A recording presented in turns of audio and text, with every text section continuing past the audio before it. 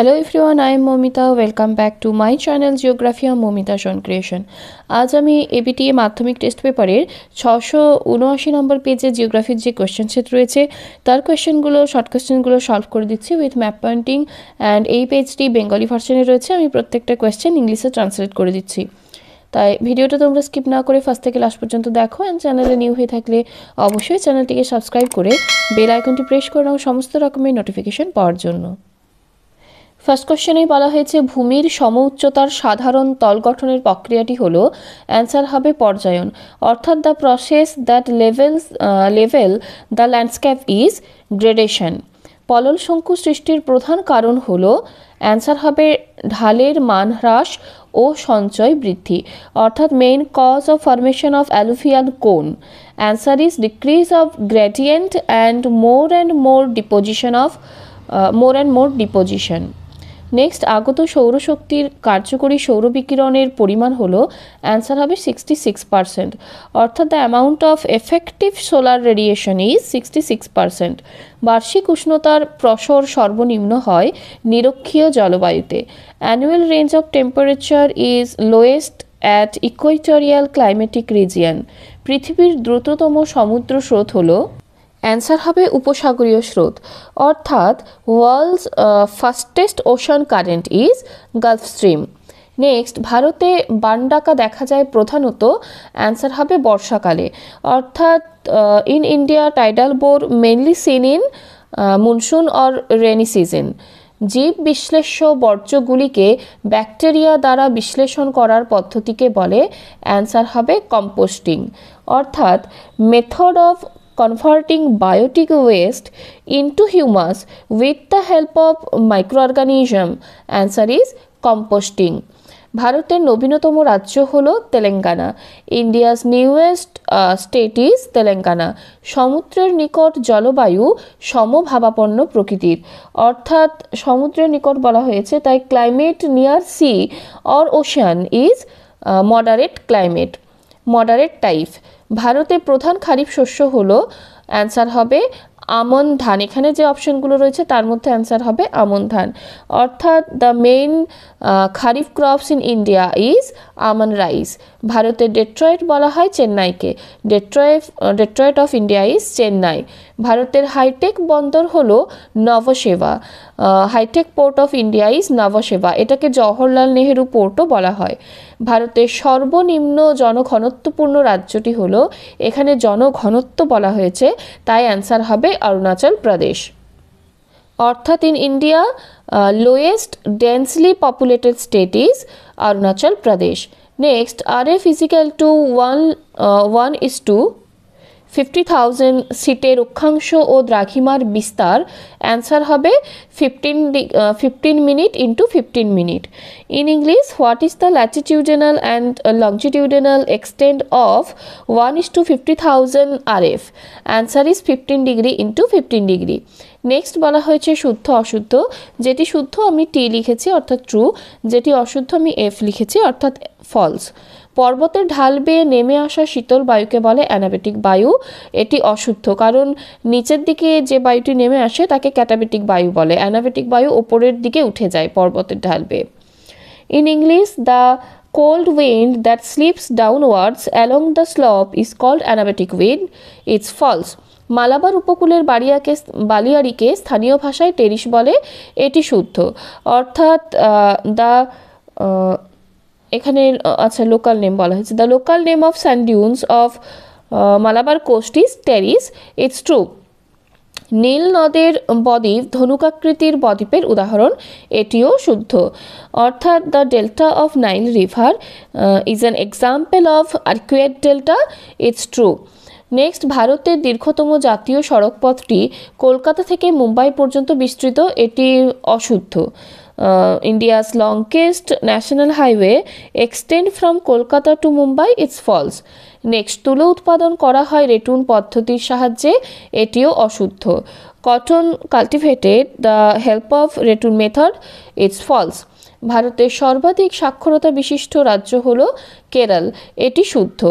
অর্থাৎ India's highest literate state is Kerala it's true জনবসতি জনবসতি দেখানোর জন্য টোপোশিটে লাল রং ব্যবহার করা হয়, এটিও শুদ্ধ। In topo map, settlements are shown by red colour, it's true. Next, fill in the blanks. Dash হলো মরু অঞ্চলে শুষ্ক নদীখাত অ্যান্সার হবে wadi.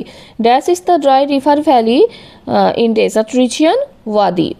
Dash প্রতিপ ঘূর্ণপাতের কেন্দ্রে থাকে।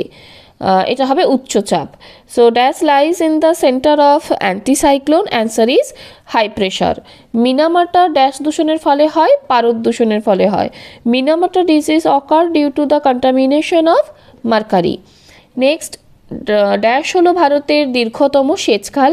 অ্যান্সার হবে ইন্দিরা গান্ধী হলো ভারতের দীর্ঘতম সেচখাল। অর্থাৎ dash canal is the India's large longest irrigation canal Indira Gandhi. ভারতের বৃহত্তম সরকারি ইস্পাত কারখানাটি হলো, সেখানে সরকারি বলা হয়েছে, তাই এটা হবে Bhilai.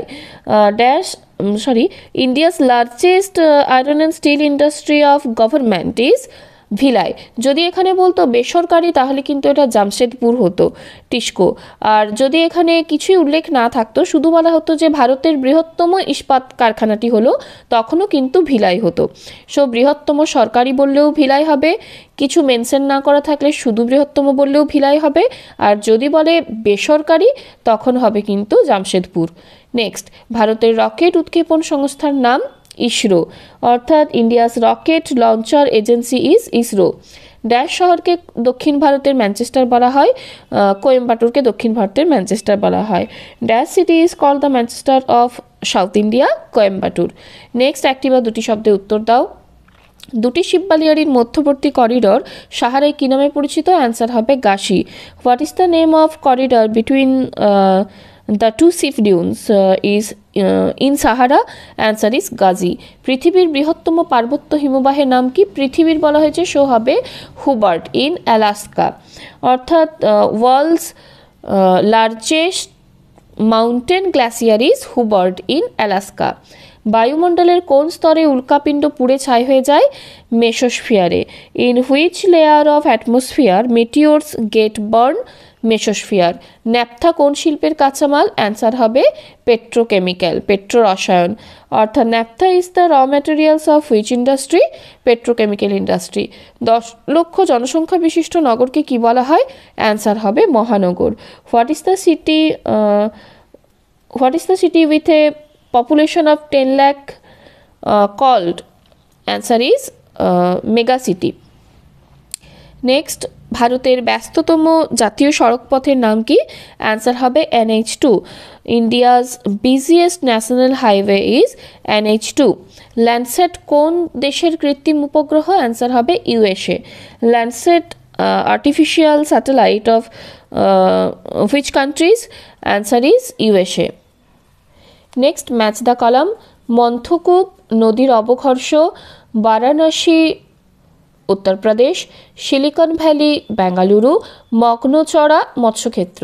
In English pot holes abrasion river erosional process abrasion Varanasi Uttar Pradesh silicon valley, Bengaluru sandbar, এটা হচ্ছে কমার্শিয়াল ফিশিং গ্রাউন্ড নেক্সট আছে দশটি ম্যাপ পয়েন্টিং এই পেজের ম্যাপ পেন্টিংয়ের ফার্স্টেই বলা হয়েছে আরাবল্লী পর্বত। আরাবল্লী পর্বত রয়েছে রাজস্থানে, এইভাবে রয়েছে এই জায়গাতে। নেক্সট বলা হয়েছে নর্মদা নদী। নর্মদা নদী হচ্ছে পশ্চিম বাহিনী নদী ওয়েস্ট ফ্লোয়িং রিভার সো রয়েছে এইদিকে ডাইরেকশনটা ওয়েস্টের দিকে হবে।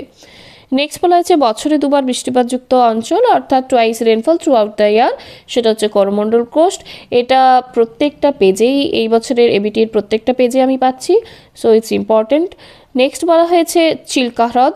চিল্কা লেক রয়েছে এই জায়গাতে। এই জায়গাটাতে একটা একটা কর্নার করাই থাকে। জাস্ট এই জায়গাতে ম্যাপের মধ্যে করাই থাকে। শুধুমাত্র একটু কভার করে দিতে হবে। নেক্সট বলা হয়েছে সার্কেল করে কভার করে দেবে এই জায়গাটা। নেক্সট বলা হয়েছে ইন্দিরা পয়েন্ট ইন্দিরা পয়েন্ট আমরা জানি যে এটা হচ্ছে দক্ষিণতম বিন্দু সো রয়েছে এই জায়গাতে নিকোবরের একদম লাস্টে রয়েছে ইন্দিরা পয়েন্ট নেক্সট বলা হয়েছে ভারতের একটি চা উৎপাদক অঞ্চল, অর্থাৎ tea producing region of India সেটা হচ্ছে আসাম অ্যান্ড দার্জিলিং। আমি দার্জিলিং অ্যান্ড আসাম পুরোটা এই জায়গাতে দেখিয়েছি। নেক্সট বলা হয়েছে করমুক্ত বন্দর, অর্থাৎ ট্যাক্স ফ্রি পোর্ট সেটি তো একটি আছে, কান্ডালা। রয়েছে গুজরাটে। এটা হচ্ছে কান্দালা। নেক্সট বলা হয়েছে ভারতের বৃহত্তম মহানগর, ইন্ডিয়ার লার্জেস্ট মেগা সিটি সেটা হচ্ছে মুম্বাই। মুম্বাই রয়েছে এই জায়গাতে। জাস্ট এই টোয়েন্টি ডিগ্রি ল্যাটিটিউডের একটু নিচে এই জায়গাটা হচ্ছে মুম্বাই। নেক্সট বলা হয়েছে পূর্ব উপকূলের একটি জাহাজ নির্মাণ কেন্দ্র। সো পূর্ব উপকূল অর্থাৎ ইস্টার্ন কোস্টের ওয়ান শিপ বিল্ডিং ইন্ডাস্ট্রি সেটা আমি এখানে বিশাখাপত্তনম দেখিয়েছি। ইস্টার্ন কোস্টের শিপ বিল্ডিং ইন্ডাস্ট্রি। নেক্সট বলা হয়েছে, সর্বাধিক জনঘনত্বপূর্ণ রাজ্য। তো জনঘনত্ব বলা হয়েছে, তাই এটা হবে বিহার। বিহার রয়েছে জাস্ট ওয়েস্ট বেঙ্গলের পাশেই, রয়েছে এই জায়গাতে। আমি ট্রাই করেছি বিহারের বর্ডারটা করার। সো এটা হচ্ছে সর্বাধিক জনঘনত্বপূর্ণ রাজ্য। সো এই হলো আজকের দশটি ম্যাপ পয়েন্টিং তোমরা চাইলে এটার একটা স্ক্রিনশট অবশ্যই নিয়ে রাখতে পারো। অ্যান্ড প্রত্যেকবারের মতো আমি আজও বলছি নর্থ ডাইরেকশন অবশ্যই দেবে। এখানে তোমরা তোমাদের নাম, রোল নাম্বার, অ্যাডমিট কার্ডের নাম্বার সেগুলো এই জায়গাতে মেনশন করবে অ্যান্ড হাতে এনাফ টাইম থাকলে এই জায়গাতে সুন্দর করে একটা ইন্ডেক্স বানাবে সিম্বল দিয়ে আমি আগের পেজগুলোতে দেখিয়েছি কীভাবে বানাতে হয়। যদি হাতে এনাফ টাইম না থাকে এইভাবে জাস্ট অ্যারো দিয়ে মেনশন করে দিতে পারো। সেক্ষেত্রে কিন্তু এখানে কোয়েশ্চেন নাম্বারটা অবশ্যই দেবে like six point three six point one six point four এভাবে কিন্তু দিতে হবে। সো আজকের ভিডিওটা যদি ভালো লেগে থাকে, তাহলে অবশ্যই একটা লাইক একটা কমেন্ট আর একটা শেয়ার করে দিও। দেখা হচ্ছে তোমাদের সাথে আমার নেক্সট ভিডিওতে till then take care yourself keep practicing